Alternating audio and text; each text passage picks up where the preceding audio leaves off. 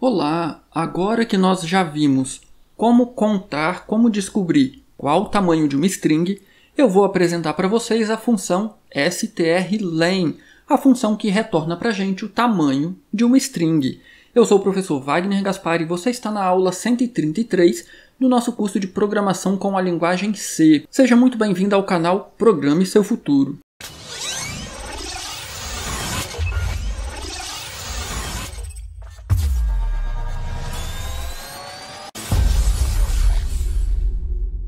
E aí talvez você está se perguntando, poxa Wagner, você está fazendo hora com a nossa cara se existe uma função pronta, strlen, para retornar o tamanho de uma string para quem então da aula anterior? Para algo muito simples. Você não vai encontrar funções prontas para todos os problemas que você vai querer resolver com programação. E aí a aula anterior foi justamente para mostrar para você que alguns problemas são extremamente simples de serem resolvidos. Você só precisa trabalhar com o seu conhecimento, com toda a informação que você já tem. E aí você consegue então criar as suas próprias funções, que por sinal é o próximo módulo que nós vamos ver aqui no canal, como criar as nossas próprias funções. Mas isso são aulas futuras. Vamos então à função strlen. Sim, existe uma função pronta para isso.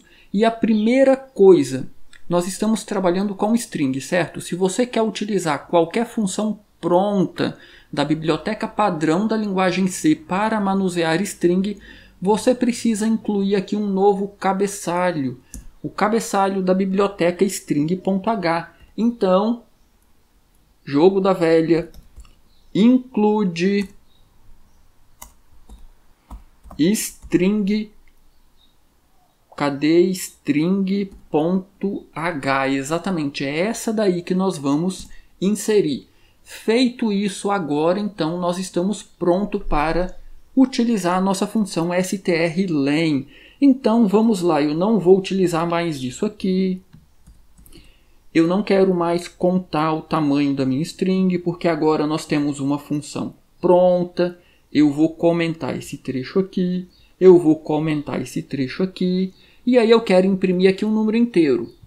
De onde virá esse número inteiro? Eu não tenho mais aqui as minhas variáveis, eu não preciso delas. Eu quero utilizar a função. Lembra que eu falei, a função está pronta, basta utilizar.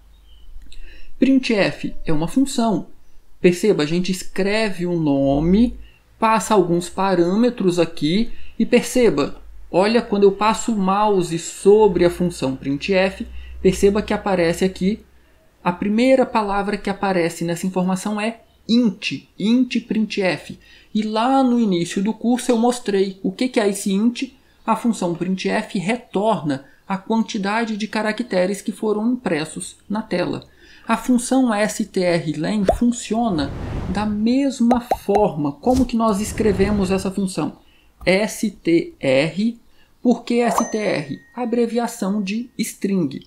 E o len, abreviação de length, em inglês. Perceba que ela está aqui. Length em inglês é tamanho. Então essa função ela retorna para a gente o tamanho de uma string. Porém, ela recebe uma string como parâmetro. Perceba que ela recebe aqui um caractere. Não se preocupe com esse asterisco. Mais à frente nós veremos que isso aqui significa um ponteiro. Então eu preciso passar aqui o, a minha string, cujo tamanho eu quero descobrir. Ah, é só fazer isso? Não, não é só fazer isso não. Perceba, a minha função strlen vai retornar quantos caracteres tem essa string. Só que ela vai retornar quem está recebendo esse retorno? Ninguém. Então vamos criar uma variável para armazenar esse retorno. int tam. E agora então tam vai receber o retorno da minha variável. Então eu tinha apagado, vamos colocar o TAM aqui novamente. Eu vou executar o meu programa agora. E aí perceba que novamente nós temos aqui o tamanho 49.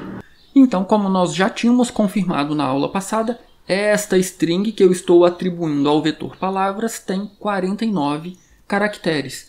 Mas por que, que eu havia excluído o TAM daqui? Se a gente quer simplesmente imprimir na tela o tamanho de uma string, A gente não precisa pegar o retorno da função, atribuir a uma variável e utilizar a variável aqui. A gente pode fazer isso aqui, olha. Eu vou copiar esse trecho, ou melhor, vamos digitar ele novamente. Eu quero imprimir o tamanho da string aqui, certo? Então eu preciso colocar aqui ou um número ou uma variável que vai ter esse número ou uma função que vai retornar esse número. Então a gente já pode escrever a função aqui, strlen. E aí aqui dentro eu passo o parâmetro, a minha string cujo tamanho eu quero descobrir. Então a função está recebendo aqui um vetor de caracteres, um vetor que possui uma string. A função vai contar quantos caracteres tem aqui e vai retornar esse valor. Aonde esse valor vai aparecer? Aqui.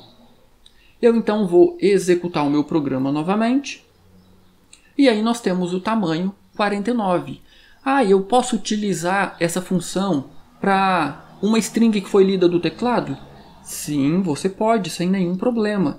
Lembrando das especificidades de uma string lida do teclado. Olha só, eu vou ler aqui com fgets e vou salvar no nosso vetor palavras.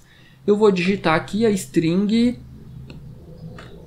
Oi, nós já vimos que vai ter um pequeno problema aqui, né? Não, não um problema, mas a nossa contagem vai ter uma diferença. Olha só, por que 3? Você já sabe por que 3. Eu digitei três caracteres. Eu digitei o caractere O, o caractere I e o caractere Enter. Então a contagem está correta. Lembrando, isso aqui não é um erro. A contagem está correta. Se você quer que o enter não faça parte da sua string, lembra nós vimos aí duas aulas atrás, na aula 131 ou 132, nós vimos como fazer para remover o enter. Percorra o seu vetor até o final, procurando pelo caractere de fim de string, e ali dentro do comando de repetição você vai procurar pelo caractere contra barra n. E aí você apaga ele, você coloca sobre ele o contra barra zero, que indica o fim da string.